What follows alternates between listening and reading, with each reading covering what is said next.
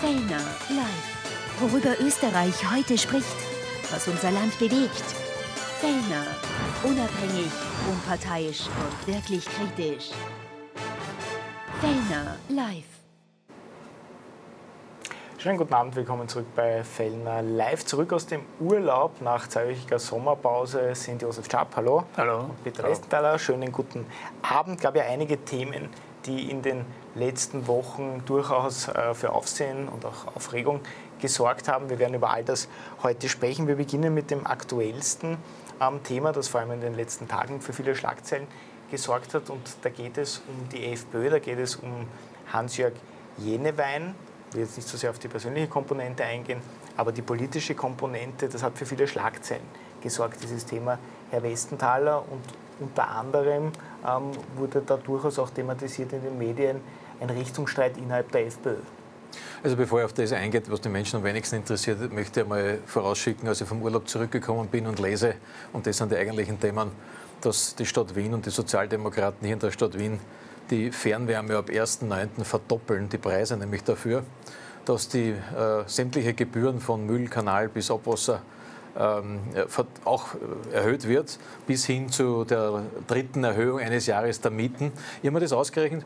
Die Wienerinnen und Wiener, die eh schon jammern und eigentlich wirklich leiden unter dem Inflationspaket und unter den Inflationen, der, die ganz Österreich betreffen, ungefähr 2.500 Euro, kriegen jetzt allein von der Wiener Landesregierung noch einmal zweieinhalb bis 3.000 Euro im Jahr Belastung durch diese Erhöhungen. Das halte ich für zynisch, für skandalös und für inakzeptabel. Ich bin wirklich der Meinung, dass man da dagegen was tun muss. Ich habe mir nicht gedacht, dass eine Wiener Sozialdemokratie mit dem Bürgermeister Ludwig so kaltherzig, kaltschnäuzig über die Menschen drüber fährt. Das wollte ich eingangs sagen, weil es das Thema ist, was eigentlich die Menschen bewegt und nicht irgendwelche anderen Geschichten. Zu Ihrer Frage, na, ich äh, nehm, möchte schon persönlich auch was sagen. Warum, warum soll man nicht persönlich auch zum Hans-Jörg werden was sagen, den ich eigentlich kenne? Ähm, und was ich sehr bedauere und was mich sehr betroffen hat, was passiert ist. Es hat mich wirklich betroffen gemacht, dass es so weit kommen konnte. Ich biete mich auch gerne an, da, äh, als, als Freund in der Not. Also wenn es sein muss und wenn die Familie der Meinung ist, es wäre richtig, biete mich gerne als Gesprächspartner an, weil oft ist ein Gespräch in alter Freundschaft äh, auch hilfreich für Menschen, die in Not geraten sind. Wissen Sie, ihr lebt es auch, wenn ich da sitze, ich kriege im Jahr nicht viele, aber doch ein paar Mails immer wieder zugeschickt von Menschen, die so in die Enge getrieben worden sind, in dem Fall von der österreichischen Politik, weil sie sich das Leben nicht mehr, leisten können. Und ich habe auch den einen oder anderen Brief, wo sich Menschen, zuletzt eine ältere Dame, die gesagt hat, das Leben ist nicht mehr lebenswert und ich fühle mich so in die Enge getrieben, dass ich überlege, dieses Leben zu beenden. Was mache ich dann? Ich greife zum Hörer spreche mit diesen Menschen oder versuche mich auch mit ihm zu treffen. Und Gott sei Dank ist bis jetzt noch nichts passiert. Aber das zeigt ja nur, dass es Menschen gibt, die eben auch in Verzweiflung geraten kommen. Und genau deshalb ist diese, und man muss es jetzt einmal beim Namen nennen, diese Medienhetze, die im Moment da äh, vom Zaum getreten worden ist, gegen äh, auch Hans-Jörg Genewein und auch seine Familie. Denn äh, was haben wir denn gesehen? Es wurde schamlos darauf losgelogen, mit Lügen. Man muss sich vorstellen, es wurde berichtet, er liegt im Koma, die Ärzte kämpfen um sein Leben. Es wurde aus einem Abschiedsbrief zitiert, den es nicht einmal gibt, der frei erfunden ist. Das ist übrigens der eine Journalist aus der Kronenzeitung, der so heißt wie der, wie der, wie der im Kreml, wie in Moskau wie der Putin, nur als Weichspüler, der heißt Budin. Also nicht Putin, sondern Putin. Und ich verstehe nicht, dass ein Mensch, der so einen eklatanten journalistischen Fehler begeht, nicht hergeht und sich entschuldigt in aller Öffentlichkeit. Bei der Familie und auch bei den Betroffenen und in aller Öffentlichkeit. Das passiert einfach nicht. Es ist schlechter Stil. Genauso wie schlechter Stil ist, jetzt einen einen Konflikt herbei äh, von den Medien, den es nicht gibt. Und wo man dann Aussagen auch nicht ernst nimmt. Und wo Aussagen hinter vorgehaltener Hand als Meinung äh, veröffentlicht werden. Ich bin wirklich dagegen, wenn man, wenn man Hass bekämpfen will, dann überall, im Netz und auch in den Medien. Man kann nicht sagen, aufgrund des tragischen Vorfalls der Frau Dr. Kellermeier, der mir tief bewegt hat und genauso bewegt tut mir, dass ich mit der Frau nicht sprechen konnte. Aber die wurde in den Tod getrieben durch Hass in, im Netz. Und ich verstehe nicht, warum jetzt, und das ist so eine Abfolge, eine Zeitenfolge, Medien nicht kapieren, dass auch Hass in den Medien zu fatalen Folgen führen kann. Und ich verstehe überhaupt nicht, dass man eine Familie nicht in Ruhe lässt, die gerade so etwas erlebt hat. Und ich verstehe noch viel weniger, dass man das Ganze jetzt zu einer parteipolitischen Affäre hochstilisiert, die sie nicht ist. Also da wird gesagt, da wird ein direkter Link herbeigeführt zwischen dem Suizid, vom Suizidversuch des Herrn Hans-Jörg Enewein zur Verantwortung des Herbert Kickl. Das ist schäbig, unredlich und abzulehnen. Es gibt diese Verantwortung nicht. Es gibt auch nicht, wenn immer berichtet wird, der Hans-Jörg Enewein war die rechte Hand vom, vom Herbert Kickl. Jetzt ist berichtet worden, der Hans-Jörg Enewein war die rechte Hand von Herbert Kickl. Der Rainer Teufel war die rechte Hand von Gerd Kickl. Die Susanne Fürst war die rechte Hand von Gerd Kickl. Und am Schluss auch noch der Walter Großenkranz, weil das war sein Kandidat. Also er hat schon vier rechte Hände jetzt, der Herr Kickl. Ich weiß nicht, ist der irgendwo ein Monster aus dem All oder was? Ich weiß. Es ist so absurd, was da passiert. Und was ich auch meine ist, dass man dem entgegentreten muss. Man muss sowohl dem Hass im Netz gegentreten, nämlich mit, da gibt es Ideen, Klarnamen, dass jeder nur mehr unter seinem Namen und Adresse posten, unter seinem richtigen Namen und Adresse posten darf. Aber das muss auch für die Medien gelten. Und es kann verdammt nochmal nicht sein, dass Medien ihre Geschichten auf Gerüchten aufbauen. Der eine Blaue hat angeblich was gesagt, der andere Blaue ist gegen unter vorgehaltener Hand. Ich bin der Meinung, dass das Mediengesetz derartig verschärft wird, dass man so etwas nicht mehr schreiben darf wenn geschrieben wird, und das lerne ich als Erste in der ersten Stunde Publizistik an der Universität, lerne ich das, ich muss die Quelle nennen. Wenn ich jemanden zitiere, dann ist eine Quelle zu nennen. Nenne ich sie nicht, wie das in einigen Medien passiert, in vielen Medien passiert, dann kommt, kommen ja nur zwei Möglichkeiten in Frage. Entweder die Quelle existiert gar nicht, das heißt, der Journalist hat sich erfunden und aus den Fingern gesaugt, wie das jetzt in, mit, in, mit, in der Handhabung dieser FPÖ-Geschichte ja vorkommt ständig, was da geschrieben wird. Aufstand, Rebellion, der Kickel ist äh, äh, gescheitert als Parteiobmann, der muss überhaupt zurücktreten. Alles ein Schwachsinn, existiert alles nicht. Die Aussendungen der, der, der, angesprochenen Landesorganisationen, heute Heimbuchen Oberösterreich, gestern Wien, die alle gesagt haben, alles nicht wahr. Wir, wir, sind in ständigem Kontakt. Es gab gestern ein, ein, ausführliches, sehr amikales Gespräch zwischen Herbert Kickl und Dominik Nepp, wo es überhaupt kein Problem gibt. Wo das Parteipräsidium der Wiener FPÖ sogar sagt, wir haben das geprüft und es ist eindeutig erwiesen, dass Kickl nichts mit dieser Anzeige zu tun hat, sondern dass das offensichtlich entweder ein Alleingang von jemandem war oder auch nicht, das wissen wir heute alle noch nicht. Und da meine ich, da gehört eine neue Ethik in den Journalismus hinein. Und es gehört meiner Meinung nach per Mediengesetz verboten, dass künftig berichtet wird über Gerüchte und keine Quellen angegeben werden. Da bin ich dafür und ich hoffe, dass das auch passiert. Ähm, sprechen wir vielleicht gleich nochmal drüber. Ich stelle mir ein bisschen schwierig vor, weil viele Skandale wahrscheinlich gar nicht aufgedeckt werden könnten, wenn sich immer, jeder immer Namen. Nein, es geht nicht um die Aufdeckung muss. von Skandalen, es geht um das Verwenden von Zitaten Zitaten als Quelle. Aufpassen. Ich habe gemeine Zitat. Es kann nicht sein, dass Journalisten, und das passiert leider das in allen ja auch, Medien. kann ja auch in einem anderen Zusammenhang sein. Nein, aber es kann doch nicht sein, dass ich eine gesamte Geschichte, eine Partei, eine also Parteikonflikt, der nicht stattgefunden hat. Es gibt ihn nicht diesen Konflikt. Er existiert nicht. Er wurde mehrfach dementiert von allen Protagonisten in der FPÖ. Aber nein, es wird weitergeschrieben. Es ist heute auch weitergeschrieben worden, eine Rebellion findet statt, habe ich heute gelesen, gegen den Herbert Kickl, wobei gestern schon das Wiener Parteipräsidium sich hinterhin gestellt hat, äh, heute der Heimbuchner. Ja, wo ist denn das? Und jetzt sage ich, ich dazu zu einem Punkt, das dauert heute ein bisschen länger, wirst, wirst verstehen, dass ich heute ein bisschen länger und auch ein bisschen emotionalisiert bin. Warum passiert denn das jetzt alles? Warum wird denn auf Warum ist denn der Suizidversuch des Hans-Jörg Jenerwein ein böser Suizidversuch und möglicherweise der Kickel wird gleich als Verantwortlicher gemacht und der andere ist ein, ein, ein bedauernswerter? Also da wird ja schamlos differenziert. Warum passiert denn das alles? Weil die FPÖ im Aufwind wieder ist. Weil die letzten Umfragen ergeben, dass die FPÖ an der zweiten Stelle ist, irgendwo zwischen 23 und 24 Prozent. Wenn man jetzt noch die vom, vom, vom äh, wie heißen die mit freundlichen Grüßen, MFG, die Partei, die sich ja im Moment auflöst, da sind sehr viele ehemalige ehemalige freiheitliche Wähler, die wieder zur FPÖ zurückkommen, dazu zählt, spielt die FPÖ im Moment nicht um Platz 2 mit, sondern um Platz 1. Und deswegen sticht so viele in den Medien, nicht alle, und nicht alle Medien, ich differenziere hier, aber sticht so viele Hasser der FPÖ der Hafer, weil sie sagen, uh, die FPÖ im Bund ist bei den Umfragen 23, 24 Prozent plus MFG sind 27. In Wien der Dominik Nepp ist bei 18 Prozent bei den Umfragen von 7. Der Udo Landbauer als Herausforderer der Mikkel Leitner legt enorm zu. Die Swatzek in Salzburg ist gut unterwegs. Der Heimbuchner hatte schon die Wahl. Ein tolles Ergebnis trotz schwierigster äh, Umstände. Der Abwärtsger in Tirol macht es hervorragend, wird ein tolles Ergebnis haben Ende September. Jetzt könnte die Steirer auch aufziehen mit dem Kunasek, die da an, an, an hinaufschießen. Das heißt, was hier passiert, ist in Wahrheit ein Abwehrkampf Abwehrkampf des Systems mit ihrem Systemkandidaten Van der Bellen, mit ihren Systemmedien, ein Abwehrkampf gegen eine FPÖ, die wieder erstarkt ist. Und da muss man sich ja, glaube ich, dagegen wehren. Und das macht die FPÖ nicht so schlecht. So, jetzt lassen wir den Josef Czap auch äh, zu Wort kommen, weil der hat wahrscheinlich eh auch schon ein bisschen ähm, ja, Entzugserscheinungen die letzten zwei Wochen bekommen. Aber an sich zu dem Thema, und das Thema ist ja auch ein, ein, ein durchaus ernstes. Ähm, Peter Westnall hat es jetzt gesagt und die FPÖ hat es ja auch heute in einer Pressekonferenz ähm, in den Raum gestellt, dass da die ÖVP-Giftküche, so hat Christian Hafenecker es genannt, dahinter steckt. Äh, also hinter diesen äh, Geschichten. Ähm, glauben Sie das auch, dass das Ganze sozusagen politisch gesteuert ist? Ich glaube Folgendes, dass es in der FPÖ eine Gruppe gibt, äh, die sagt, Kickel ist hinderlich auf dem Weg zurück in eine Bundesregierung. Und in der ÖVP eine Gruppe gibt, die sagt, Kickel ist ein Hindernis auf dem Weg zurück in die Bundesregierung. Und da gibt es eine Interessensübereinstimmung.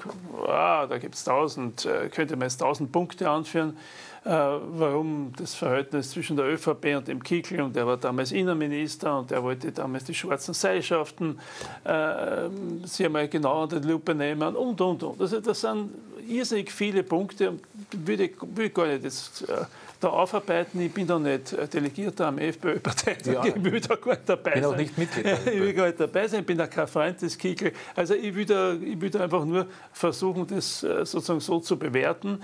Und das ist es. Und die täten gern halt ein Revival von, von Schwarz-Blau machen. Jetzt kommt die Vermischung mit zwei anderen Ereignissen. Ich wünsche mir dem Jännerwein äh, baldige Genesung. Ich kenne ihn aus dem Parlament. Das ist ein, ein, ein, ein, ganz normaler, engagierter Abgeordneter gewesen. Mir fällt da kaum was ein. Was er sonst noch gemacht hat, und das kann ich nicht beurteilen, weil ich bin weder jetzt noch im Untersuchungsausschuss, noch bin ich sonst äh, irgendwie ja, da kenne ich mich da mit der FPÖ besser aus, aber ich finde, es ist einmal eine Frage der Pietät, dass man jemanden, der so einen Schritt setzt, äh, dass man das einmal respektiert und dass man versucht, dass er wieder auf die Beine kommt und dann soll er erklären, was der Hintergrund ist. Und, und aus, so sehe ich das ganz, äh, versucht das möglichst menschlich zu sehen. Wir reden aber sehr viel über das. Ich finde, dass die Frau Dr. Kellermeier ein ganz tragisches Beispiel ist.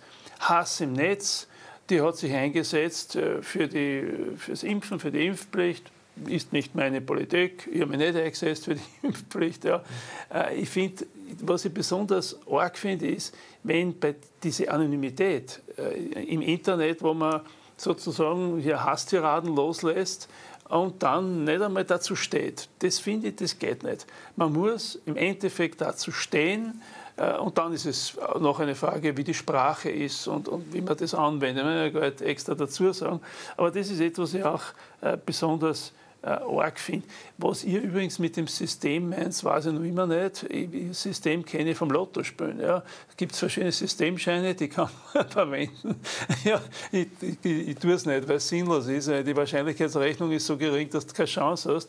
Aber ich habe meine Kritik an den Bundespräsidenten van der Bellen. Da, bin ich, da sind wir wieder wahrscheinlich in den einen oder anderen Punkt einer Meinung, weil ich finde, er hätte sich zu diesen ganzen sauren Wiesen, wie es der Kirchschläger mal geäußert hat, zu der ganzen Korruptionsgeschichte viel früher, viel ausführlicher, viel gründlicher, viel regierungskritischer äußern können. Er war nur im Gegensatz zu Türkis Blau, da war er auch schon zurückhaltend, schon extrem zurückhaltend, wie Türkis Grün ist so stelle ich mir das nicht vor. Und dass die ÖVP den jetzt unterstützt, das weiß ich warum. Ja, dass die sagen, Macht braucht Kontrolle und wenn einer uns schon kontrolliert, dann soll es der Van der Bellen sein. Also das ist der Hintergrund von der ganzen Angelegenheit. Und ansonsten äh, bin ich grundsätzlich für einen Stil äh, der Auseinandersetzung und wir zwei haben doch das immer propagiert. Für einen freundlichen, ja, ja. vernünftigen, respektvollen Stil. Der gilt nicht nur für uns beide und für uns drei da, sondern der gilt generell auch anderen gegenüber und das bemühen wir uns und manchmal ja. geht halt das Heferl über, das ist ja nichts Schlimmes, aber jedenfalls, jedenfalls für das stehen wir und deswegen schauen auch viele zu. Ich würde mir deine Predigt, wenn ich das übernehmen darf, nur beipflichten. Ich habe aber nicht gesagt, der Herr sei mit dir. naja, aber das hat mir gefällt am Schluss. Das könnte, aber, aber seien Sie aber ich würde mir wünschen, dass das so mancher Journalistin und Journalist dieses Landes auch ernst nehmen würde. Ein bisschen runter vom Gas. Ein bisschen den Hass in den Hintergrund stellen. Ein bisschen die Voreingenommenheit, die man so hat in diesem Land. Nicht alle Zeitungen, nicht alle Medien, manche Journalisten die auch historisch gesehen auf diese FPÖ ständig draufhauen, hinhauen, Hass, hasserfüllt schreiben, Formulierungen verwenden, die inakzeptabel sind, also nur die FPÖ, sondern der Kickel, an denen kann man sich eh die Schuhe putzen. Und da ist dein Appell der richtige. Würde ich appellieren. Abrüstung der Worte. Aber in den Medien. Und aufhören, tragische Vorfälle, die es gegeben hat, man hat den einen Fall versucht, politisch zu äh, missbrauchen, nämlich auch den Fall von Dr. Kellermeier, ist auch versucht worden, politisch zu missbrauchen. Und noch mehr jetzt den Fall des Hans-Jörg wenn der Gott sei Dank ja nicht geglückt ist, dieser Suizid, aber auch dort versuchen manche Journalisten hier Kleingeld rauszuschlagen und das jemanden in die Schuhe zu schieben, als, als hätte eine Person oder eine Partei Verantwortung an sowas. Wissen die überhaupt, was es bedeutet, wenn ein Mensch Suizid begeht, dass das oft eine Mannigfaltigkeit an Gründen hat? Und ich weiß davon, dass das auch beim Hans-Jörg der Fall ist. Da gibt es auch familiäre Gründe, andere Gründe. Das möchte ich gar nicht aufrollen. Aber es ist nicht, es ist mit Sicherheit nicht ein Politiker oder eine Partei. Mit Sicherheit nicht. Und das ist das perfide, was er gemacht wird. Dass hier versucht wird, einen Skandal hochzuziehen, an der Schwäche eines Menschen, der nicht gewusst hat, wie es ihm eigentlich weitergeht in seinem Leben und mit dem ich gern vorher geredet habe. Ich hoffe, ich kann diesen ausnutzen und mit dem Hans Gerne ein Gespräch führen. Ja, will kurz Nein, ich würde es nur. Nein, ich, kurz ja, ja. ich glaube, dass ich wollte keine Predigt halten. Also wenn ich das ja, ich, auch aber bist du, wenn du noch Mitglied bei der Kirche bist, ich, ja, bin ich dann passt es, dann kann ich weiter predigen Natürlich. sozusagen. Ja. Ich, jedenfalls bin der Auffassung, diese Medienkritik oder diese Journalismuskritik die müssen auch Journalisten aushalten. Absolut. Finde. Ja, das ist, wir leben in einer Demokratie und wenn Journalisten Politiker kritisieren, na, no, na, die brauchen auch den vollen Schutz, dass sie das tun können. Ich bin für absolute Freiheit äh, dieser journalistischen Tätigkeit. Äh, wir leben da in einer Demokratie, wo das seinen Platz hat, aber umgekehrt kann auch Politik oder Politiker alle kritisieren, sich selbst, andere, aber natürlich auch Medien und Journalisten. Und ich finde, das ist okay. Ja, vielleicht, ja. also ich glaube, Medienkritik ist, ist, zulässig und dass da alles, alles sozusagen richtig gelaufen ist in der Berichterstattung rund um diesen Fall ist, glaube ich, auch schon aufgezeigt worden. Insbesondere auch diesen Abschiedsbrief, den Sie angesprochen haben, den es ja definitiv nicht gegeben hat. Aber ich würde trotzdem noch gern, ähm, ich will das jetzt ungern vermischen, die Medienberichterstattung und das, was im Fall Kellermeier passiert ist. Diese ganze Hass im Netz-Diskussion. Klarnamen und wo jetzt auch diskutiert wird, braucht es eine eigene Staatsanwaltschaft, ähm, wie soll man mit dem umgehen, braucht es härtere Strafen, härtere Verfolgung. Was müsste man denn Ihrer Meinung nach, um jetzt konkret auch auf den Hass im Netz einzugehen, was müsste da passieren? Würden der Klarnamen Ihrer Meinung nach überhaupt helfen? Nein, Oder natürlich nicht. braucht es da andere? Nein, es braucht schlicht und ergreifend Verbote. Offline nehmen. Ich bin der Meinung, Medien, die es nicht zustande bringen, dass in ihren Foren so moderiert wird, dass solche Anwürfe, Anschüttungen und persönliche Attacken nicht sofort gelöscht werden. Die, die, gehen halt dann offline einmal ein paar Tage, und zwar das komplette Medium. Das ist ja ganz normal. Das passiert in anderen Ländern auch. Äh, wenn das nicht funktioniert, wenn man kein Gesetz zustande bricht und die Frau Sadic jämmerlich versagt in dieser Frage, nichts tut, dann muss man durchgreifen und sagen, okay, liebe Medien, ihr habt es vor, ihr könnt euch das aussuchen, da können die Leute diskutieren, ja, sollen sie diskutieren. Man kann Klarnamen einfach, jetzt sagen wir uns ehrlich, es gibt so viele Umgehungsformen für diese Klarnamen, da, da, da melden die Leute schon wieder irgendwelche Pseudonyme an mit irgendwelchen Adressen, die es nicht gibt. Also das kann man ja umgehen. Nein, ich bin wirklich der Meinung, wenn in einem Medium nicht, wenn ein Medium nicht ausschließen kann, dass solche äh, persönlichen, hasserfüllten Attacken äh, gegen andere Menschen äh, publiziert werden, dann, zur Strafe einmal Wochen offline, und zwar das gesamte Medium, damit ja, sie sagen, löst, das, das löst das Problem. Oh ja, weil dann passen sie enorm auf. Dann, und das Zweite ist, da bleibe ich jetzt am, am, am, Drücker, auch, auch was die Medien anbelangt. Und es kann nicht sein, und da hast du völlig recht, lieber Wolfgang, es können Politiker auch wenn sie noch so verhasst sind und wenn, auch wenn sie viele geben, sie können nicht freiwillig sein, freiwillig der Medien. Das geht einfach nicht. Man kann einen Politiker kritisieren, man muss ihn kritisieren. Die Medien sind dazu da, Politiker zu kritisieren. Sie sind aber nicht dazu da, Kampagnen gegen Politiker zu führen. Das sind sie nicht dazu da. Keines, kein Medium in diesem Land. Und das passiert im Moment. Im Moment wird kampanisiert gegen eine Partei, gegen einen Politiker. Das ist der Herbert Kickl. Warum? Weil er erfolgreich ist, weil er die FPÖ von 16 derzeit auf 23 Prozent führt.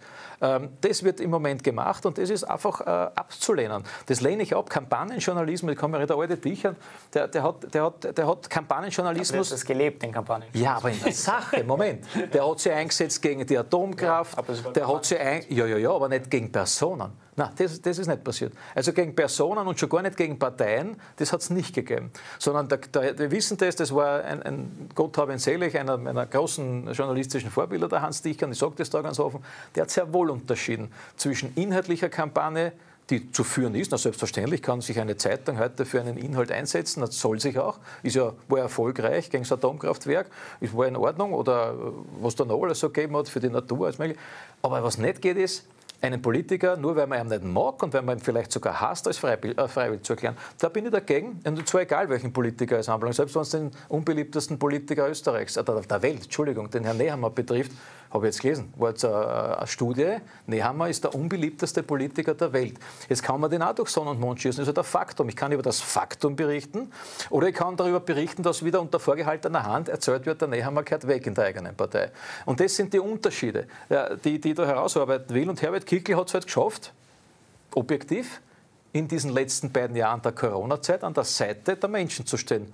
Er, auf, er hat mit den Menschen demonstriert. Er war die einzige, der Einzige mit, mit dem Dominik Nepp und mit vielen Mitstreitern der Freiheitlichen, die sich, und jetzt bin ich bei der Systemfrage, weil ich dir jetzt erklären möchte, was das System ist, die sich gegen das System gestellt haben. Und was meine ich mit politischem System? Ich meine nicht das Lotto-System, Josef, das weißt du ganz genau, war ein billiger Gag. Nein, das politische System ist das, was man Regierung nennt. Das ist, das ist das System mit ihren Trabanten, da gibt es Trabanten bei den Medien, und ich meine immer nicht gesamte Medien, immer nur Journalisten.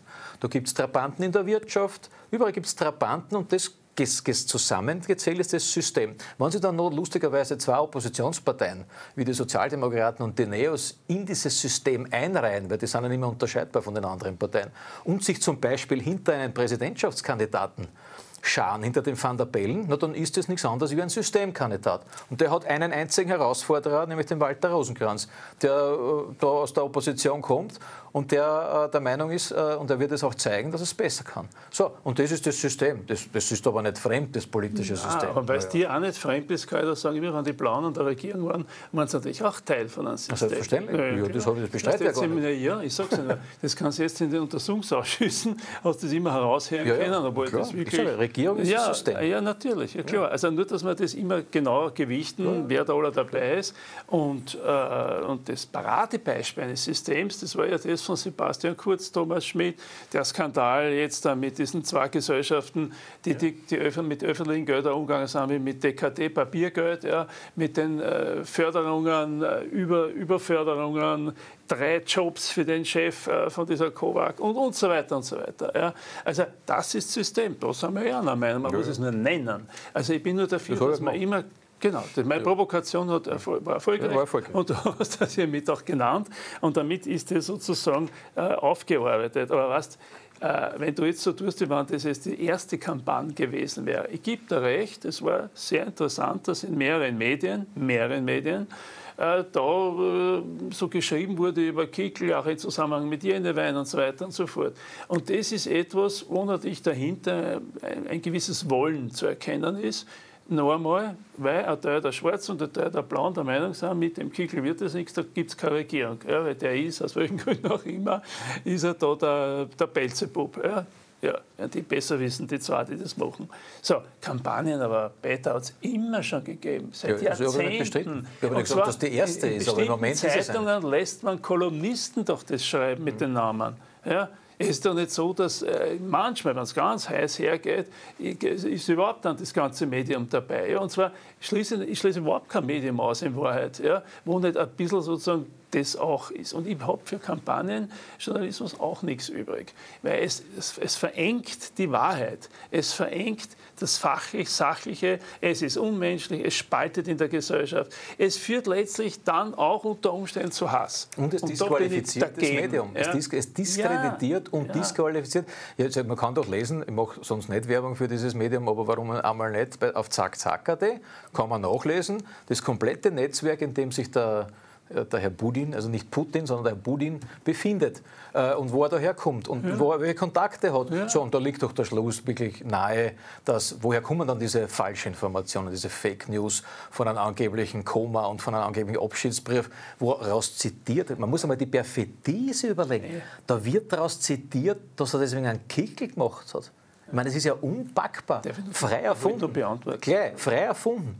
Und das geht nicht. Das geht einfach nicht. Und da muss eine verantwortungsvolle Chefredaktion eines solchen Mediums das dazu Stellung nehmen und sich dafür zumindest einmal entschuldigen. Das ist das Mindeste, was ich mache, dass ich mich entschuldige.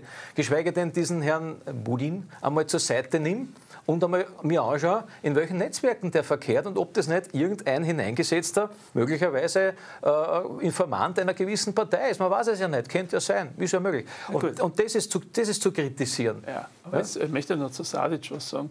Ich habe jetzt mitverfolgt, dass die Sadic nicht an neue gesetzliche Regelungen denkt, sondern einfach sagt, man sollte überhaupt die, die IT-Ausbildung, die Technik, das alles, das hat was. Ich habe jetzt heute am Nachmittag äh, äh, noch mit einem Experten gesprochen, der mir gesagt hat, wir sind so, wozu haben wir ein Digitalministerium gehabt? Wir sind so unterversorgt, so untervorbereitet, so unterqualifiziert. Da braucht man einen Deutschen, eine deutsche äh, Internetspezialistin, die jetzt bei, der, bei dieser Geschichte mit dem Suizid von Dr. Kellermeier da wirklich einen Beitrag leisten kann. Und das finde ich, da hat die Sadic recht, die sollen einmal aufrüsten, und zwar ordentlich aufrüsten, sonst werden wir den Cyberkrieg nicht gewinnen können.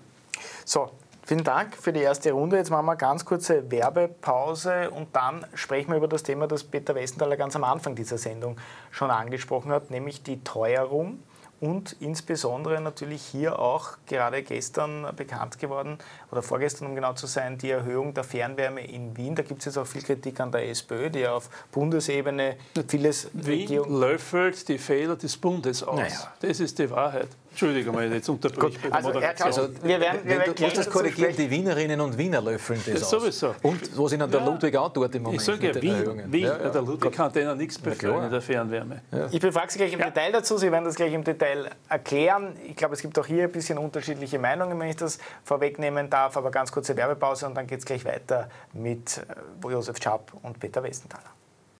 Fellner live. Worüber Österreich heute spricht, was unser Land bewegt Fellner. Unabhängig, unparteiisch und wirklich kritisch. Fellner live. Ja, wir kommen bei Fellner Live, Westenthaler und Chap zurück aus der Sommerpause. Thema Teuerung. Wir haben schon kurz darüber gesprochen, über das Thema Teuerung und die Frage, wie ähm, das Ganze auch mit der SPÖ-Linie vereinbar ist. Ähm, einerseits Kritik an der Regierung, dass da zu wenig passiert, andererseits jetzt gerade die Erhöhung der Fernwärme und teilweise auch der, mutmaßlich der Gebühren, ist noch nicht durch, aber wahrscheinlich auch der Gebühren in Wien. Wie passt denn das wirklich zusammen, Herr Schaub? Das passt nicht zusammen, aber es ist so, dass äh, natürlich der wahre Hintergrund dieser Probleme äh, schon der ist. Man hätte seitens des Justizministeriums äh, bei der Miete einfach das nicht freigeben sollen, sondern man hätte sagen können, es soll dieses Jahr wieder keine Mieterhöhung geben. Also es ist, hat schon äh, Gründe, äh, die da im Hintergrund sind, die auf der Bundesebene verortet werden und wo dann die Länder gezwungen sind, das teilweise umzusetzen oder teilweise ihnen die rechtlichen Möglichkeiten fehlen, dagegen was zu unternehmen. Ja. Und äh, daher meine ich, dort, wo es möglich ist, dagegen zu steuern, versucht man das in Wien mit diesen Einmalzahlungen oder mit dem Energiebonus. Mit, äh, das meiste Geld geht auch in die Förderung von, äh, von Unternehmungen, äh, Sicherung von Arbeitsplätzen und so weiter und hat damit erreicht, dass in Wien eigentlich die momentan einen Beschäftigungshöchststand haben. Und nach wie vor, äh, Innsbruck ist die teuerste Stadt in Österreich und Wien ist nicht, gehört nicht zu den teuren Städten. Also es hat sich da schon einiges äh, festgesetzt, das, glaube ich, eine Berechtigung hat, wenn man sagt, es soll die Daseinsvorsorge und es soll halt alles, was Wien so lebenswert macht, natürlich auch in Zukunft funktionieren. Ob man die eine oder andere Erhöhung dann zustimmt oder auch macht, da bin ich in unterschiedlicher Auffassung. Ja, aber ich habe schon vorhin zitiert, diesen empathielosen, gefühlsarmen Brief der Wien Energie. Das ist unfassbar, wo man da einfach nur äh, rechtlich äh, mitteilt und dann am Schluss noch sagt, na, haben Sie noch irgendwelche Fragen auch noch? Ja, also gerade, dass nicht der Titel ist, hauen Sie über die Häuser. Also ich finde, das ist unglaublich. Ja, da, das, da, muss man auf das natürlich auch zusätzlich noch reagieren. Aber dass Wien nichts macht, das stimmt nicht, dass Wien nicht versucht, dagegen zu halten, Äh, das stimmt auch nicht. Nur Wien kann sozusagen in manchen Bereichen nur das, was Wien kann. Der Bund könnte da mit Sicherheit mehr tun, was diese Übergewinnabschöpfungen betrifft zum Beispiel, über das wir da x-mal schon diskutiert haben. Ja diese Übergewinnabschöpfungen, wo sich sogar der Nehammer einmal die Finger verbrannt hat. Er hat gesagt, dann machen wir doch eine Steuer, wo wir das ein bisschen abschöpfen können. Ja. Und dann alle aufgeschrieben haben gesagt, das ist ein Marxist oder ein Kommunist oder sonst was. Also ich finde, das ist auch auf der Bundesebene anzusiedeln, primär, äh, um da die rechtlichen äh, Bedingungen äh, zu schaffen. Wenn ich jetzt schaue, äh, die diskutieren eine Strompreisbremse auf der Bundesebene äh, halte ich für richtig. Die Pamela Rendi-Wagner fordert auch, dass es da äh, im Strom- und Energiebereich äh, gebremst werden muss. Du brauchst eine Datenverknüpfung, äh, du brauchst zwei Drittel mehr im Parlament, damit man das überhaupt machen kann, sonst gibt es am Schluss Leute mit zweit- oder drittwohnsitz, dass sie zweimal oder dreimal gefördert werden oder Genießer dieser Bremse sind. Also ich finde, das, was möglich ist, und was realistisch ist und womit man auch glaubwürdig ist, äh, das versuchen halt die Länder, wo man gerade jetzt äh, Einfluss hat, Burgenland, Kärnten, Wien, äh, natürlich da und, und, über die Sozialpartner, das hat man ja bei der Kurzarbeit, bei den Modellen gesehen, wo die Sozialpartner sehr vernünftige Modelle erarbeitet haben, um da den Anstieg der Arbeitslosigkeit zu bremsen und in den Griff zu kriegen. Also in der Summe macht die Sozialdemokratie hier eine Politik, um zu vermeiden, dass dieses Land mit den sozialen Errungenschaften in die Luft geht. Und jetzt sage ich noch was bei den Umfragen. Ich hatte einmal jetzt diesen, das Glück, dass ich da bei der Umfrage mit kommentieren durfte. Ja. Nach wie vor ist die Mehrheit der Österreicher der Meinung, dass dieses Sozialsystem, das Generationen aufgebaut haben, ja, dass das nach wie vor etwas ist, das Sicherheit vermittelt, an das man sich festhalten kann. Und wenn Politiker das auch richtig schützen und auch richtig einsetzen, findet es die Mehrheit in Österreich. Ja. Aber zugleich steigt der Unmut über, den, über die Teuerungsexplosion, die da äh, vor sich geht. In den Umfang wird, das ist ja faktisch schon niemand mehr, der da das irgendwie noch akzeptiert. Vielleicht die paar Milliardäre da oben noch und noch einige andere mehr. Aber der Rest sieht, und der sieht den Hintergrund in dem Ukraine-Krieg, dass das wahrscheinlich die, die, die, wirtschaftlichen Auswirkungen sind, die dazu führen, dass wir uns da umbringen wirtschaftlich, dass die Teuerung in die Luft geht und dass da teilweise Regierungen auch nicht national Maßnahmen setzen. Das heißt, manches ist auch hausgemacht. Ja? Und deswegen haben wir das da ja immer kritisiert, vor allem das, was hausgemacht ist, weil das ja nicht notwendig wäre, aber weil halt die ÖVP sagt, eingreifen in den Markt, das ist nicht ihre Selbstverständnis.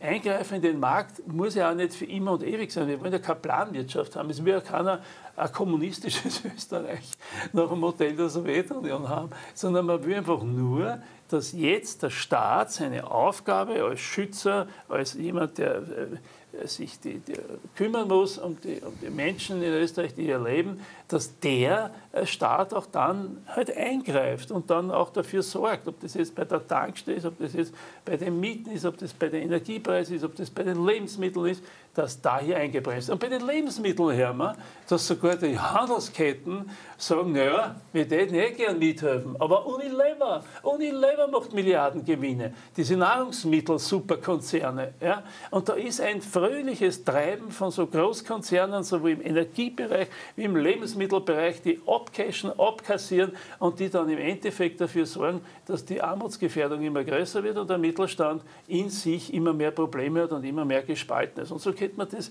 endlos fortsetzen und eine regierungsfähige Regierung, eine handlungsfähige Regierung, hätte da im nationalen Rahmen durchaus schon einiges machen können. Äh, bei der EU weiß ich nicht, ja, da sind die Gegensätze so stark, da ist die Spaltung so groß, zwischen dem osteuropäischen Teil der, der, der, EU, die also eigentlich nur die Niederlage Russlands wollen und am liebsten in Russland einmarschieren täten, ein paar einzelne von denen, und dann dem westlichen Teil, der sagt, na, irgendwann einmal müssen wir aber zu einem Ergebnis kommen, zu einer Lösung kommen, äh, weil wir sonst uns selber ruinieren, unsere Wirtschaft, unsere Arbeitsplätze, unsere sozialen Sicherheitssysteme so weit in anderen Ländern vorhanden. Und da sehe ich ganz große Defizite und die sind alle auf der, auf der Bundesebene. Das kennen Länder, nicht lösen. Ja. Ich meine, sie versuchen es zwar, sogar der Wiener Bürgermeister ist einmal zum Herrn Erdogan geflogen und so, aber im aber Endeffekt... mit falschen Klitschko geredet.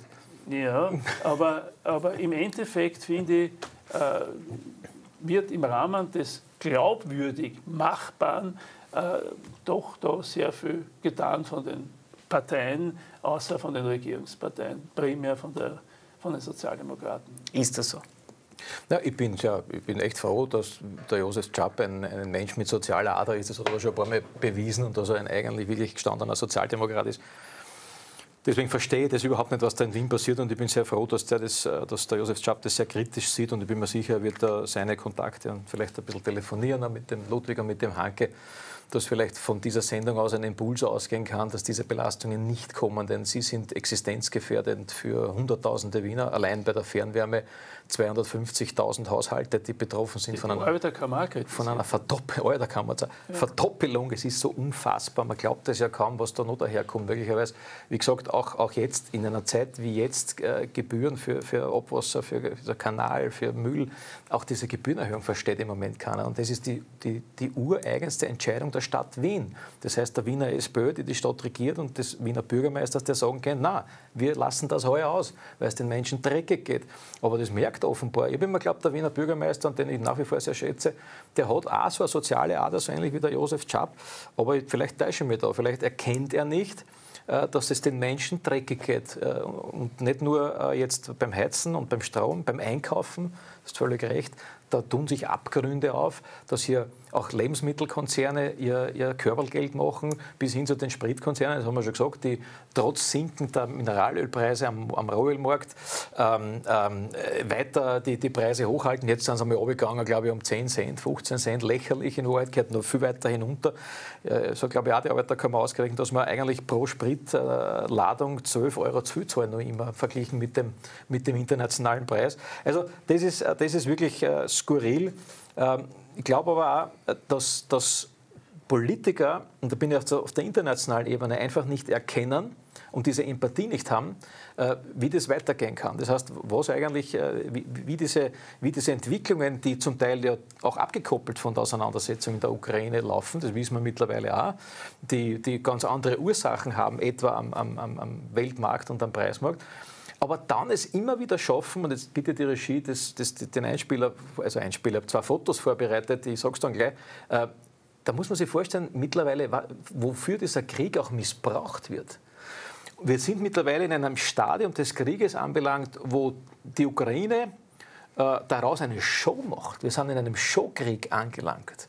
Und das ist ja dann noch einmal eine Provokation der Menschen in Europa und auch der Menschen, die für diesen Krieg einzahlen und die, die Preise. Also vielleicht kann man jetzt das erste Bild einer Delegation einspielen, die vor kurzem, schauen wir uns das an, beim Wladimir Klitschko in Kiew einen Kriegsbesuch abgestattet haben. Auf dem Bild sieht man ganz links außen Nancy Faeser, die sozialdemokratische Innenministerin Deutschlands. Ganz rechts außen der Herr Huber, der ist Arbeitsminister Deutschlands. Die zweite Dame von links ist die Botschafterin und in der Mitte überragend und erkennbar der Herr Klitschko. Alle haben sie wunderbaren Rosé-Sprudel, man könnte auch sagen Champagner in der Hand und es geht ihnen total gut, sie haben es extrem lustig. Das ist ein Balkon in Kiew, ein Regierungsgebäude in Kiew. Das Bild war auch in allen Medien, muss es man sagen. Medien. Aber man muss es schon ist, auch dazu sagen, wir kennen jetzt äh, sozusagen auch ich finde es, Ich finde es genannt, ja und ich finde es skandalös, dass man zu, zu, einem, zu einem Showbesuch nach, nach Kiew fährt und dann solche Bilder fabriziert, wie es das lustig haben in Champagner. Und dann sagt man uns in Europa, ihr müsst für den Krieg so ein zweites Bild, um zu sehen, wie auch die Führung in, in der Ukraine derzeit unterwegs ist. Schauen Sie mal, das ist eine Fotostrecke der Zeitschrift Vogue, die ist berühmt, eine berühmte Modezeitschrift. Man könnte jetzt sagen, Krieg wird an Vogue, wird jetzt Mode. Die Dame im blauen Gewand ist die, die Ehegattin vom Herrn Zelensky. Unten hat man gestellte Fotos, wunderschön geschminkt, alles vorbereitet mit dem Herrn Zelensky. Das heißt, der macht daraus jetzt eine Modenschau aus diesem Krieg. Auch das ist eigentlich unfassbar. Jetzt haben wir es gesehen. Äh, und, und, da frage ich mich wirklich, wer nimmt denn dann noch ernst, wenn plötzlich äh, europäische Staatslenker weiter Milliarden in die Ukraine-Hilfe hineinstecken, wo man dann so ein Plätzchen finanzieren äh, und wo man dann Waffen schicken, wo der Krieg künstlich verlängert ist, wo uns heute ein, ein bekannter britischer Militärstratege sagt, er geht davon aus, dass in Kürze die erste Atombomben fallen wird, äh, lokal begrenzt in, in der Ukraine, weil es dort einfach äh, sonst keine Bewegung mehr gibt. Also ich muss wirklich sagen, wir haben eine politische Kaste in Europa im Moment, die völlig abgehoben agiert, die jegliche Empathie verloren hat, die feiernd nach Kiew fährt, äh, wo Modefotos geschossen werden und die auf die Probleme der Menschen, die sie auch aufgrund, nicht nur, aber auch aufgrund dieses Krieges haben, die Teuerung, die, die, die, die, Preisgestaltung, alles, was da passiert, das müssen die Menschen dann zahlen und die sitzen zu Hause in der kalten Wohnung und, und dürfen beim Einkaufen äh, durch die Finger schauen und haben bald nichts mehr zum Essen, wenn die Vorräte einmal ausgehen. Und das ist ein, ein Ungleichgewicht, wo die Menschen zornig werden. Der Zorn wächst. Ich kann nur davor warnen. Der Zorn in der Bevölkerung, nicht nur in Österreich, sondern in ganz Europa wächst und die Gelbwesten-Auseinandersetzungen vor, vor, ein paar Jahren in Frankreich waren ein, ein, eine Lappalie gegen dem, was sich da zusammenbraut in Europa. Wenn einmal da die Bevölkerung zu marschieren beginnt und sie das einfach nicht mehr, mehr gefallen lässt, wie sie jeden Tag von der Politik verarscht wird, dann weiß ich nicht, was da auf uns zukommt, muss ich ehrlich gesagt sagen. Aber was müsste denn passieren gegen die Teuerung? Wo könnte man ansetzen? Äh, weil Sie haben ja selber gesagt, an sich wird Geld in die Hand genommen und es ist gar nicht wenig Geld, das da derzeit in die Hand genommen wird. Nur es wird anscheinend nicht richtig verteilt. Naja, also wir sehen, dass in Wahrheit vieles einfach äh, völlig daneben geht. Ja? Wenn jetzt die Getreidelieferungen endlich einmal äh, in Bewegung kommen, damit man Hungersnöte in Ägypten und in anderen nordafrikanischen Ländern äh, verhindern kann. Wenn man also sieht, wie sich große Konzerne bereichern, ja, wenn man also sieht, dass da weltwirtschaftlich, auch von der Organisationsstruktur, von den Banken, ja, von allem einfach da eine, eine Mentalität vorherrscht, die den Krieg jetzt ausnutzen, um für sich selbst noch zusätzlich Gewinne zu machen, da stimmt ja irgendetwas nicht. Ja? Und da ist schon gefragt, äh, die Administration verschiedener Länder, aber auch der Europäischen Union, um da, also da dagegen zu halten. Und ich finde, äh, was mich besonders schockiert hat, war der Besuch von der Nancy Pelosi jetzt in Taiwan. Ja, es reicht ja, wenn wir schon eine Diskussion darüber führen, wann, ob nicht die Gefahr besteht, dass zu einem atomaren Erstschlag kommt oder dass zumindest Atomwaffen eingesetzt werden regional im Krieg in der Ukraine. Aber wenn jetzt noch Manöver sind, ebenfalls Sanktionen jetzt kommen äh, seitens Chinas gegenüber Taiwan, wenn jetzt äh, wiederum eine, eine Eskalation zwischen den USA und zwischen China äh, stattfindet, wobei man wissen muss, das ist noch ganz eine andere Dimension. Denn es sind viele österreichische, europäische, amerikanische Firmen in China selbst, ein wichtiger Absatzmarkt ist es dort. Ich glaube, die deutsche Autoindustrie verkauft im Jahr 200.000 Autos allein nach, nach China. China ist äh, als Kapitalinvestor in Europa, in Österreich, in Amerika. Äh, Wenn es da zu einer echten Auseinandersetzung kommt, und abgesehen davon, dass wir über Globalisierung dann gar nicht mehr, mehr reden brauchen, ja, und dann nur Indien sozusagen mit einbezogen ist, dann hast du den globalen Clash dann hast du meiner Meinung nach, das ist der Weg in den globalen Atomkrieg, nicht der bloße Weg in den regionalen Atomkrieg, bloß unter Anführungszeichen in den regionalen Atomkrieg. Und daher finde ich, ist momentan die vordringlichste Aufgabe, um die Teuerung in den Griff zu kriegen, um dieses Missverhältnis, äh, das sich dort darstellt, wirklich in den Griff zu bekommen, den Krieg zu beenden den Krieg zu beenden. Ich sehe keine andere Alternative. Und da muss man sich halt dann hinsetzen. Ja? Aber da muss man dann auch, ich meine, an sich braucht ja nur Washington einmal anrufen in Kiew und sagen, jetzt wird es Zeit, dass verhandelt wird, dann muss er sich eh hinsetzen. Ja. Weil der kann ja nicht, der tut ja nicht mehr frei agieren. Ja? Der ist ja komplett abhängig von dem, was die USA da liefern und was die also da beitragen. Und das andere ist, dass auch die Europäische Union sich da Gedanken machen muss. Weil das, das, es, es führt ja dazu, die Umfragen, die wir da behandelt haben, über Teuerung, äh, der, der Krieg in der Ukraine ist schuld an der wirtschaftlichen Misere, Angst, äh, sicherheitspolitische Ängste, das ist ja nicht nur in Österreich so, das ist ja in Europa so. Es wird riskiert, die, die, Spaltung, es wird riskiert auch die Zerstörung der Europäischen Union.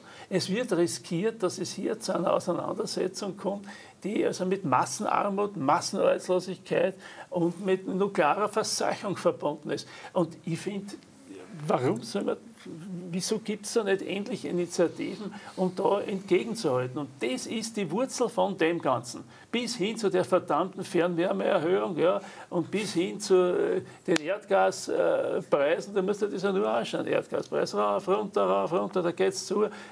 Die Marktkräfte äh, und, und der Putin muss offensichtlich das mit, mit, mit großer Freude registrieren, obwohl er jetzt einmal mit den eigenen Flugzeugen kann er nicht mehr, lang herumfliegen. Er muss jetzt schon die vorhandenen ausbauen, weil er keine Ersatzteile kriegt. Das kann schon sein, dass das in vielen anderen Bereichen, es kann auch damit enden, dass es zu einer generellen Selbstzerstörung von allen führt, nicht nur von uns. Dann selbstverständlich auch von Russland, wo Millionen übrigens die Nasen voll haben von dem Regime und gern was anderes hätten. Ja? Und das ist etwas, wo ich sagen muss, stellt euch mal vor, wenn dort ein echter Clash ist in Russland selber. Ja? Und wenn es dort nicht eine klare Nachfolgestruktur gibt und mehr demokratische Elemente, sondern wenn es dort zu einem echten, auch dort zu einem Clash wird, mit Millionen Flüchtlingen aus Russland Richtung Europa. Ja, ja ich meine, das muss man sich alles vorstellen. Jetzt müssen wir irgendwas Positives noch am Schluss sagen, weil sonst äh, können die Menschen nicht schlafen, wenn sie die Apokalypse da Ja, aber das ist ja, ja. Aber ich würde ich würd vielleicht gerne, ich, ich, weiß jetzt nicht, ob es positiv ist, aber zumindest leite ich es positiv ein, um noch einmal nach Österreich zurückzukommen, zum Krisenmanagement unserer Bundesregierung. Macht die irgendetwas richtig, irgendetwas gut? Ist da irgendwas was positiv ähm, an dem, was da derzeit getan wird? Weil, wie gesagt, an sich werden ja 28 Milliarden Euro in die Hand genommen, das ist nicht wenig Geld. Also, ich, wenn ich jetzt kurz innehalte und nachdenke, fällt mir im Moment überhaupt nichts ein, was da positiv läuft. Es ist schon allein die Zeitschiene eine falsche. Denn äh, es kommt die Hilfe nicht daher. Ja, es sind ein paar Hilfsgelder beschlossen, ein paar hundert Euro werden wir alle miteinander kriegen. Ja? Vor allem die, die es brauchen. Äh, ich hoffe ich. Nur, was haben die davon, wenn das irgendwann einmal im Oktober, Mitte, Ende Oktober passiert? Das muss ja jetzt passieren oder hätte schon längst passieren müssen. Denn die Zahlungen sind ja auch da, die geleistet werden müssen. Das heißt, die Haushalte sind ja schon überschuldet.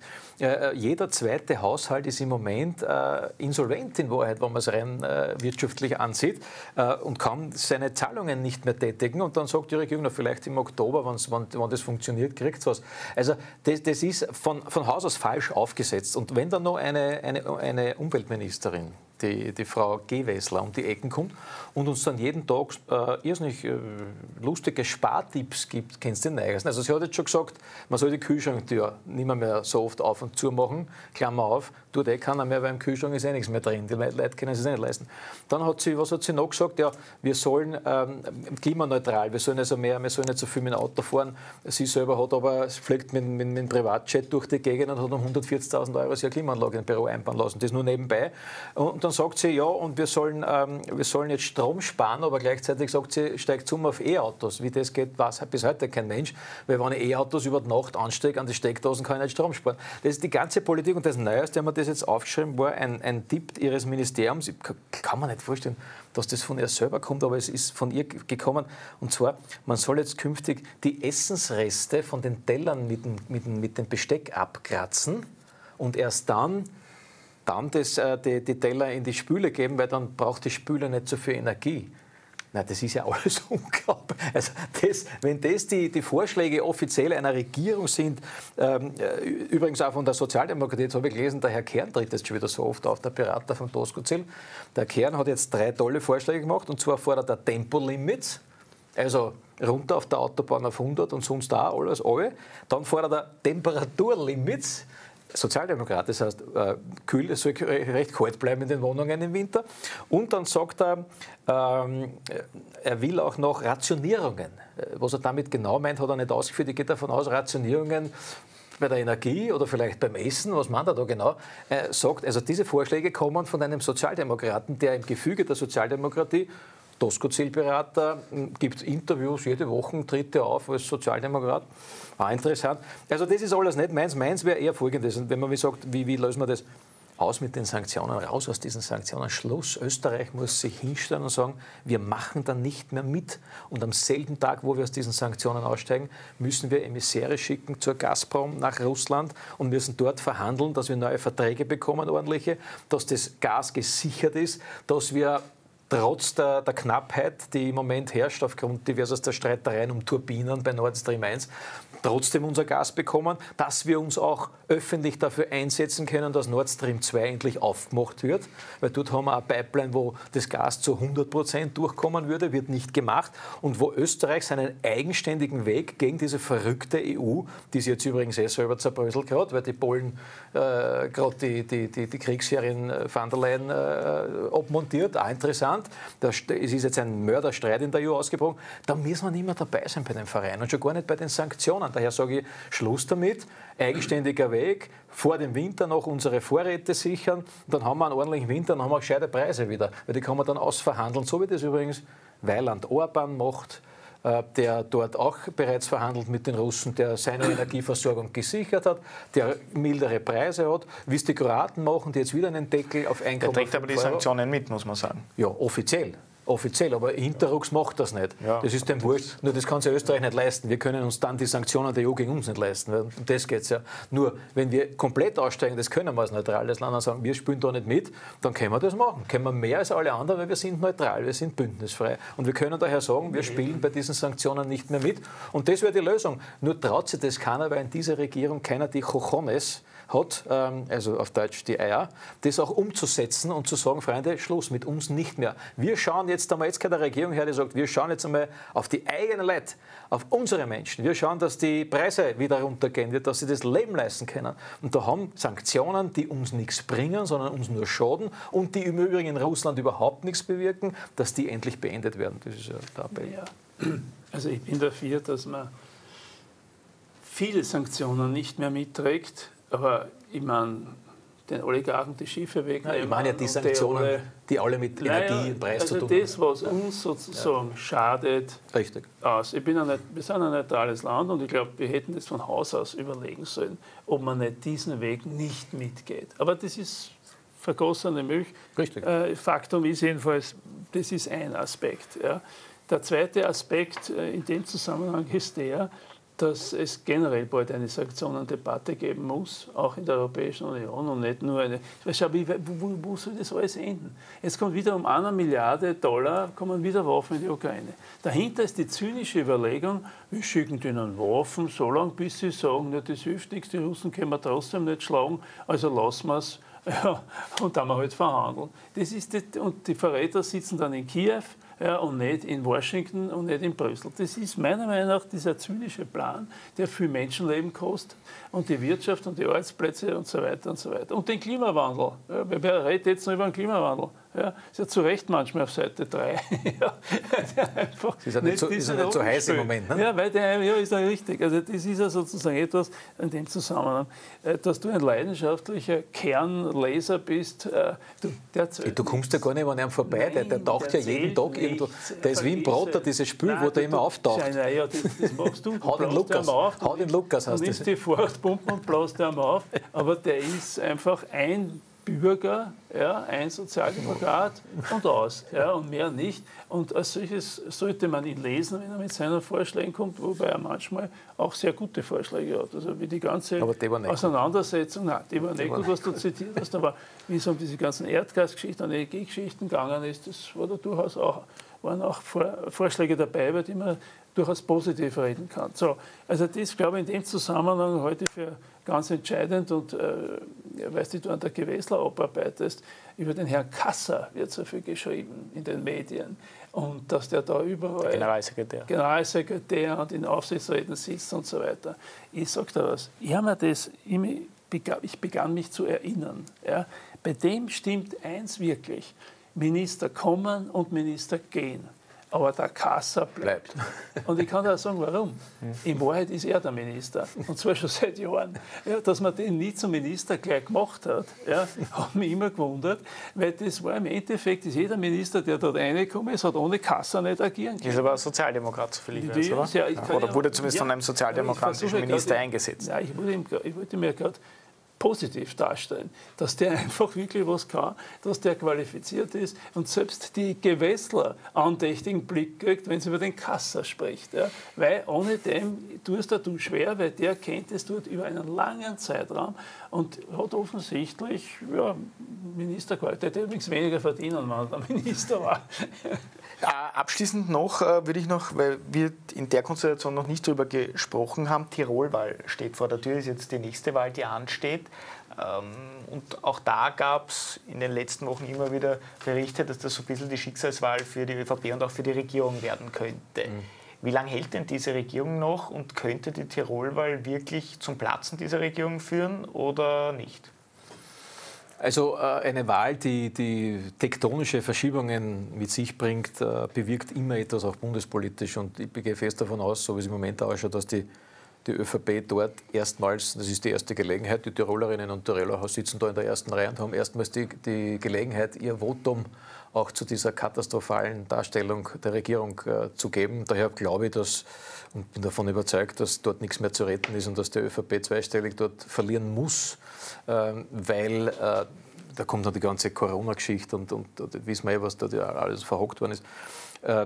Das wird passieren und dann natürlich beginnt dann eine Diskussion. Die Tiroler haben es in der Hand eigentlich mit einer, mit einer deutlichen Ohrfeige für die regierende ÖVP auch der Regierung einen Denkzettel zu verpassen und zu sagen, so geht es nicht mehr weiter. Und wenn das passiert, dann beginnen die Diskussionen, weil, meine, sie laufen ja in der ÖVP, sie sind nur jetzt ähm, überdeckt von anderen Dingen, aber sie laufen ja weiter. Es ist ja nicht so, dass das dort vorbei ist. Ich meine, man muss sich vorstellen, es ist ja was Historisches passiert. Wir haben mittlerweile den unbeliebtesten Kanzler der Welt der Welt. Das hat es überhaupt noch nie gegeben.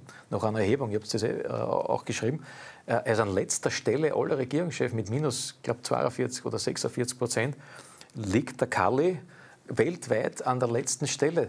Das muss ich mir zu denken geben. Ich denke mir, wenn ich das wäre, ich hätte das sofort abdanken. Das kann ja nicht sein. Der muss ja wissen, dass das so nicht weitergeht. Und außerdem äh, ist ja seit gestern und heute der nächste ÖVP-Skandal äh, aufgedeckt worden durch den Bundesrechnungshof. Ja? Die Geschichte mit der KOFAG. Die KOFAG ist also jene GmbH, über die wir diese ganzen Corona-Hilfen abgewickelt haben. Und der Josef wird sich erinnern, wir haben da schon vor einem Jahr oder eineinhalb Jahren gesagt, das gehört alles einmal am Tisch. Das gehört einmal überprüft. Was ist mit, wo sind die Gelder hingegangen, an wem und warum? Und jetzt kommt der Rechnungshof mit einem Bericht, Rohbericht, der jetzt das Licht der Öffentlichkeit erblickt hat. Und da stehen Dinge drinnen, ein Mörderskandal. Der Geschäftsführer, ein Habsche von Thomas Schmidt, von, von, ja genau, von dem Thomas Schmidt, den wir alle wissen, mit seinen Jets, ein in der Wolle gefärbter Türkiser, der dort hineingesetzt worden ist, ein Doppelgehalt bezogen hat mit bis zu 700.000 Euro, muss man sich mal vorstellen, für, für einen sehr kurzen Zeitraum als, als Übergangsgeschäftsführer, ähm, bis hin zu äh, Aufsichtsräten, die da offenbar willkürlich Aufträge erteilt und verteilt haben, bis hin zu, muss man sich das mal auf der Zunge zergehen lassen, 21 Millionen Euro für externe Berater hat dieser Koffer aus, aus Steuergeldern am Ende bezahlt. 21 Millionen, unfassbare Summe. Und außerdem wird man sich noch genau anschauen, wer hat tatsächlich diese 14 Milliarden, 14 Milliarden wurden ja ausgeschüttet, wer hat die gekriegt? Wo, wo, ist der Hauptteil hingeflossen? An welche Firmen sind in einem Einflussbereich äh, der ÖVP gestanden oder nicht? Also ich, da hat ja der Untersuchungsausschuss schon wieder ein komplett neues Kapitel. Da muss er sich darum kümmern. Also das muss im Untersuchungsausschuss, muss dieser Rechnungshofbericht natürlich bearbeitet werden und die müssen alle geholt werden. Vor einem Monat. Der Herr Geschäftsführer, die Aufsichtsräte der, der, der KOFAG, die müssen alle geholt werden. Das ist ein weiterer Mörderskandal im Einflussbereich der ÖVP. Vor Monaten haben wir das gefordert. Vor Monaten ja. haben wir gesagt, wir möchten haben, dass all das, was jetzt im Zuge der Pandemie äh, da an Hilfen für die Unternehmungen geleistet wird, und die haben ja sofort, wie die, das begonnen hat mit dem Virus, diesen, äh, diese, ein, diese Institution äh, beschlossen, eingerichtet. Und dann haben wir immer gesagt, na, wer kontrolliert das? Wohin geht es? Wie viel ist es? Ja, die haben kein Ohrwaschel gehört. Ich glaube, währenddessen Regierungsmitglieder bei uns zuschauen und kein Ohrwaschel hören, müssen die Rechnungshofleute sehr wohl bei uns zugeschaut haben und offensichtlich gesagt haben, na, da wollen wir doch einmal hineinschauen und haben die Lupe genommen und haben einmal reingeschaut. Also dieser Bericht ist der nächste Hammer. Ja. Also ich finde, wie die ÖVP aus dem Ganzen rausgekommen ist, die kann sich da die wird das endet wirklich mit einer Auflösung, wie bei der Demokratie Christiana. Und Tirol ist ja schon der Beginn. Kein ÖVP-Name mehr, nichts soll mehr an die ÖVP erinnern. Leid für dumm verkauft. Aber glauben Sie, dass diese Tirolwahl auch sage ich einmal, eine potenzielle Neuwahl im Bund einleitet oder nicht? Na, weder, nein, nein, nein, ich glaube, die haben, tja, das sind Lemminge, politische Lemminge. Auch das gibt es. Gibt es ja nicht nur in der Tierwelt, sondern auch so politische Lemminge. Die wollen ganz bis zum bitteren Ende gehen. Ja, und das ist ihnen völlig wurscht. Weil die wollen noch Strukturen schaffen, die man nachher schwer wieder verändern kann. Die haben ein, ein, ein, ein totales machtpolitisches Prinzip. Die privatisieren öffentliche Gelder anscheinend. Die privatisieren öffentliche Einrichtungen. Ja, das, war, das, das ist eine, ein Verständnis an, an, an Staat, Republik, an, an Dingen, die eigentlich den Menschen gehören hier. Ja. Das ist ein Verständnis, da da ist man fassungslos, wenn man das sozusagen mitverfolgen kann. Und der Untersuchungsausschuss war da genau richtig, um da mal auch wieder hineinzuleuchten. Da haben wir übrigens gefordert, ja. um da auch äh, mal hineinzuleuchten. Und das ist jedenfalls einer von den von diesen Konsequenzen. Also ich glaube, auf Bundesebene kann es sein, dass die da auch nicht mehr, mehr unter den Namen ÖVP antreten. Sie sind eh schon unsicher, Türkis, Schwarz. Ja, sind sie ja letztes Mal auch schon nicht. Letztes Mal war ja schon Liste Kurz. Ja, aber Liste Kurz, Liste Ich, Kurz, alles Mögliche. Ja. Was gut, wie, Tirol, wie, wie heißen es denn in Tirol? Liste Matle, glaube ich. Matle. Liste nein, nein, nein, die sind jedenfalls die, nur für die, die, ja, die sind an erster Stelle, die man nicht wir drei, die die Innenpolitik genau verfolgen. Ja. Wir haben jetzt kurz nachdenken müssen, wer ist das überhaupt jetzt? Der ja. Matle, Matle, wer ist Matle? Matle. Ja. Wer ist das? Matle. Ja, bitte, Gott, danke. Mit der Hilfe ist es jetzt gegangen. Und wenn dann der, der durchschnittliche Tiroler und die Tirolerin, der geht, dann, geht zur Wahl hin und sucht die ÖVP. Nein, aber darf man da einen kleinen Tipp geben? Es ist eigentlich ganz einfach die Partei, die als erster steht, die, die wählt man nicht, weil das ist die ÖVP. Ja? Nur, dass man es weiß. Äh, die anderen sind dann die anderen, aber das ist ja die nächste Wählertäuschung. Ne? Der, der Naumann muss weg. Der Herr Nehammer der wird überhaupt, der kriegt Einreiseverbot in Tirol, der darf nicht mehr auftreten. So viel zum unbeliebtesten Kanzler der Welt. Der Welt. Also ich muss sagen, die, die, es geht ja weiter. Das für dumm verkaufen der Menschen geht ja seitens der ÖVP ungebremst weiter. Ungebremst, wirklich. Das muss ich mir vorstellen. Und daher haben es die Tiroler in der Hand, sich nicht für dumm zu verkaufen. Aber abschließende Frage, gibt es noch eine Neuwahl im heutigen Jahr oder geht sich das nicht mehr aus? Ich glaube, heuer wird es äh, schon allein vom Vorlauf nicht mehr, mehr ausgehen. Und äh, nachdem ja der, der Systemkandidat Van der Bellen auch von der ÖVP und von allen anderen Parteien unterstützt wird und diese Wahl am 9. Oktober ist, geht sich dann der Vorlauf einfach nicht mehr. Da müsste ja jetzt dann schon das Parlament sich auflösen. Wir wissen, also das ist dann Vorlauf ungefähr von drei Monaten. Also für heuer wird sich das nicht mehr, mehr aus. Apropos Präsidentschaft, wir haben da noch was mitgenommen, Josef Schaub, weil ja du auch noch überlegst. Ich habe da eine, ich habe da eine Unterstützungserklärung mitgenommen für, für den Dr. Walter Rosenkranz, der, der einzige Herausforderer von Van der Bellen. Das wird also das Match werden, Van der Bellen Rosenkranz. Bis äh, 2. September ja, kannst, du, kannst du das noch ausfüllen und, äh, und einschicken. Der wird, der wird ein tolles Ergebnis machen und wird am Ende der, wird den, den, den, mit in den Stichwald gehen und das darf daher feierlich ich hoffe, überreichen. Ich hoffe, ich hoffe, dass du diese Enttäuschung jetzt erträgst ja, und diese Frustration, dass ich das nicht machen werde. Ich habe aber auf OE24 den Marco Pogo jetzt vor kurzem ja. in einem Interview gesehen. Ich muss sagen, ja, gar so unbegabt Vielleicht ist das auch Alternative. Ja. Nein, nicht, dass ich den wählen will, aber gar so unbegabt. Und er hat auch gewechselt. Kein Bier mehr, sondern Wasser. Mhm. Ja, sind wir echt was anderes. Was Sie überlegen sich Marco Pogo zu. was für viele Fans eine Enttäuschung ist. Das. Ja, die Bierfans werden sich wieder abwenden von ihm. Ja. Aber es war zumindest so, dass der erklären hat können, warum er kandidiert. Wir leben in einer Demokratie. Jeder hat das Recht, äh, wenn er die nötigen Unterschriften genau. hat, dass er das macht. Und damit hat sie die Geschichte. Und äh, ich müsste mich halt jetzt auf einen Rosenkranz konzentrieren und nicht da intern. Ich habe schon unterschrieben. Um ein dumm tun, ja, weil schaut nicht gut aus. Schaut gut aus, wirst du sehen. Schaut super aus. Gott. Also, wir sind am Ende angelangt. Vielen Dank. Wir machen eine ganz kurze Werbepause und dann geht es gleich weiter hier mit den aktuellen Nachrichten des Tages.